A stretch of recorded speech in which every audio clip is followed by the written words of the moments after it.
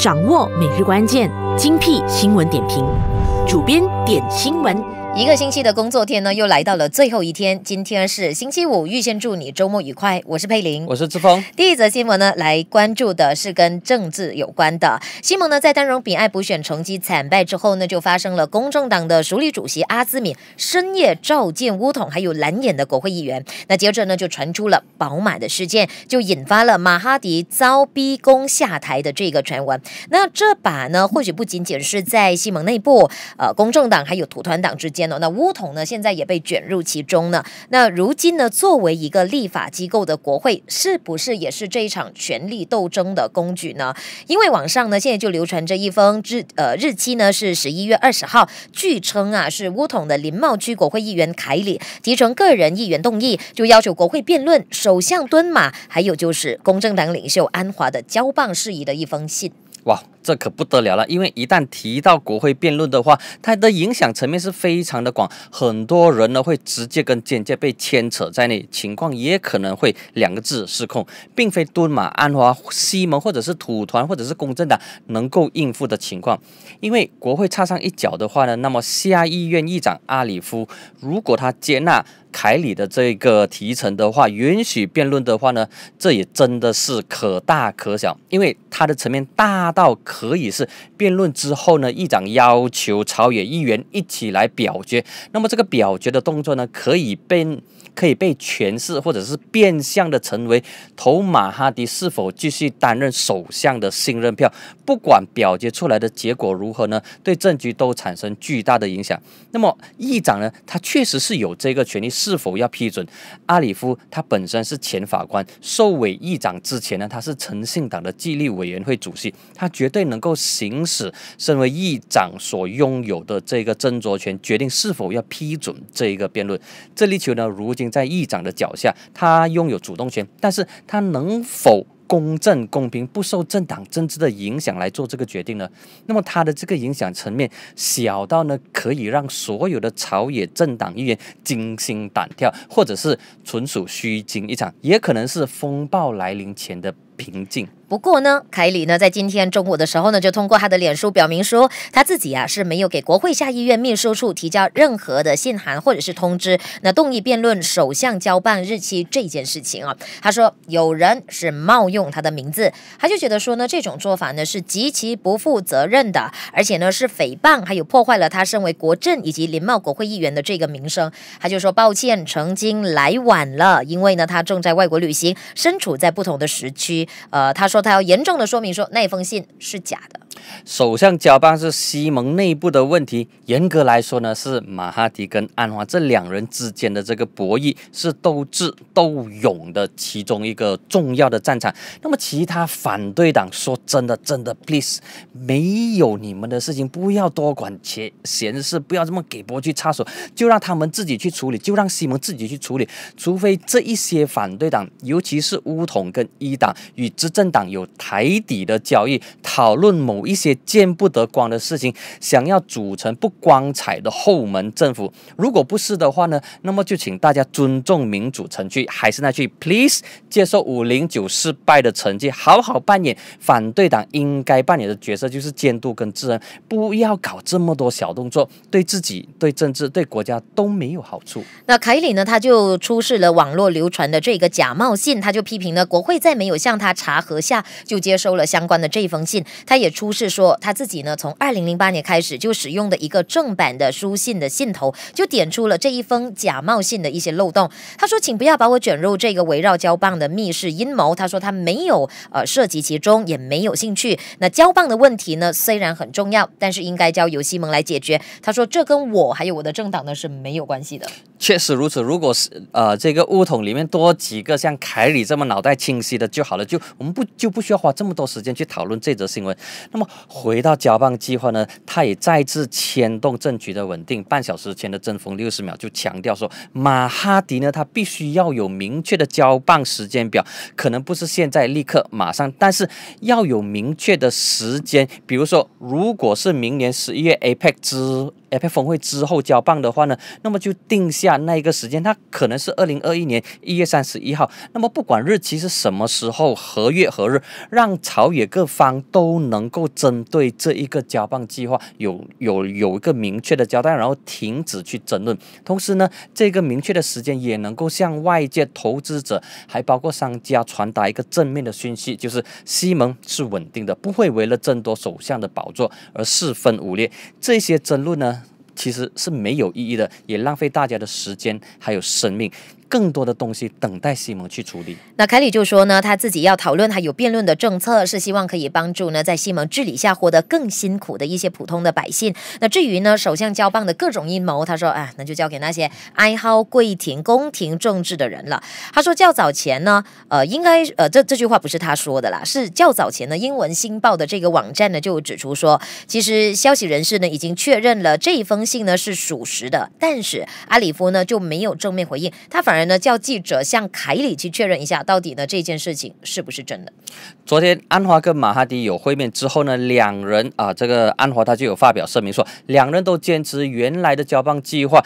应该要进行，但是计划的详情是什么呢？没有人懂。事实证明，这些没有人懂的模糊跟灰色地带呢，成为政客们操弄的议题，也沦为勾心斗角、推动自己阴谋跟诡计的主要原因。政坛把蹲马啊，这个政坛把蹲马不愿，或者是他不愿意迟迟说明交棒的时间表。诠释为说他是有私心的，有意要栽培土团党和自己属意的人选。其实选民给了马哈迪难得的第二次机会，历史上很少有集权的领袖获得这个。第二次机会，那么他必须要好好的珍惜，必须要选择要名留千史、受国人推崇，还是成为反面的教材。那么往往这个是一念之间的选择，一念天堂，一念地狱。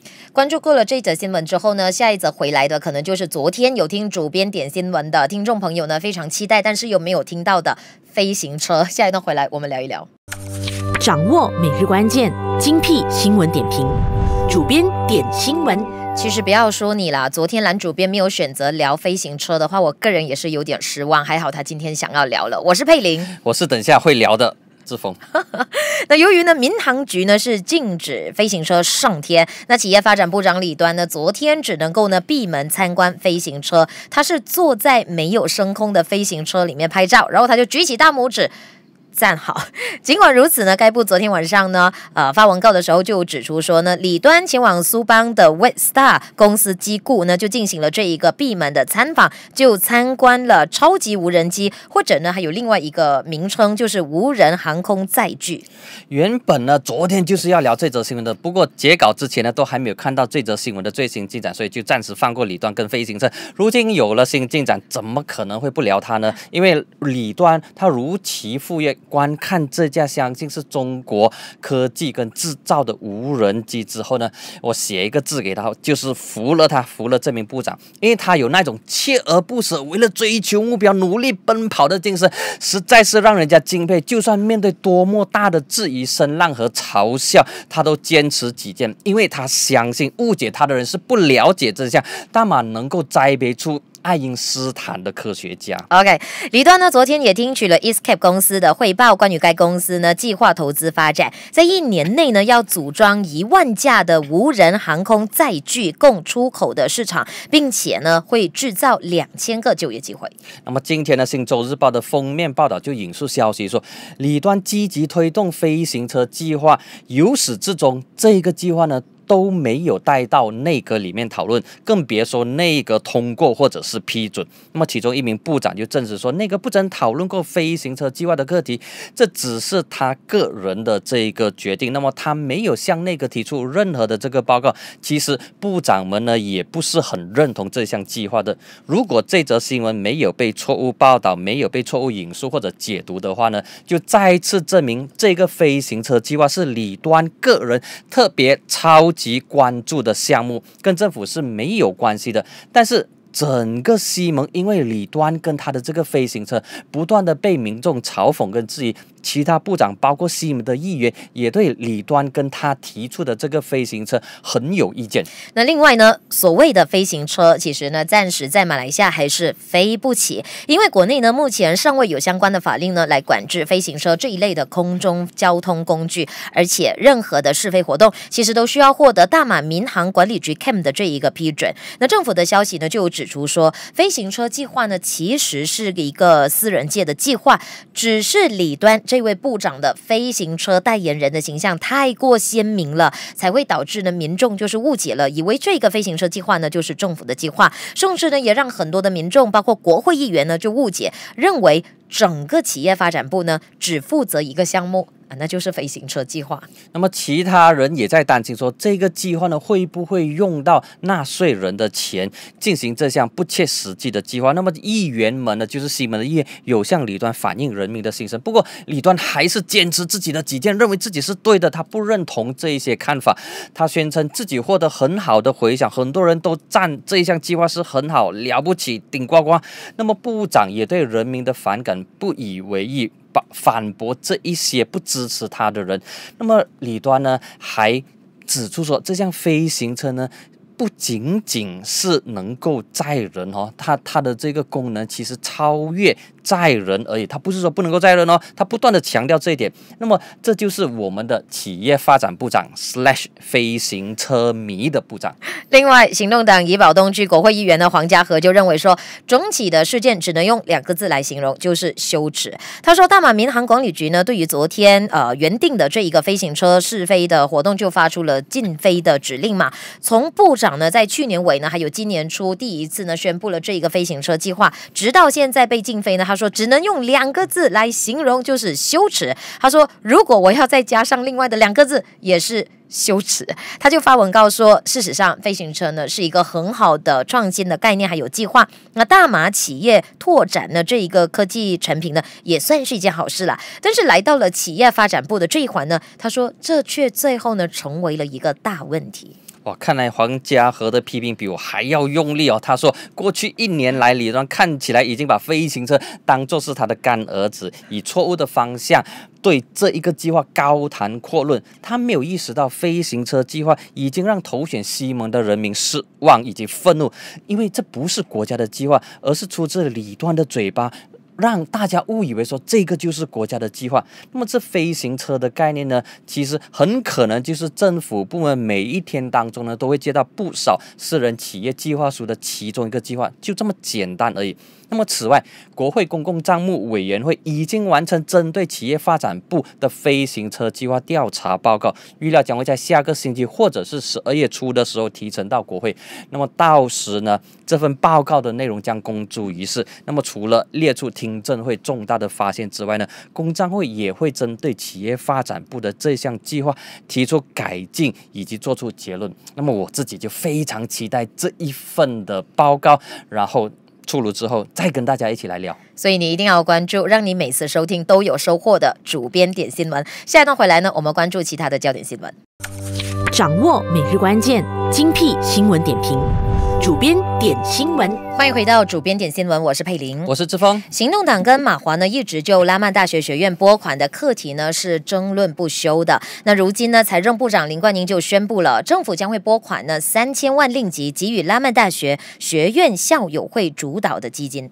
从去年的财政预算案到今年的预算案呢，拉曼拨款课题一直都是火箭跟马华争议不断的议题啊。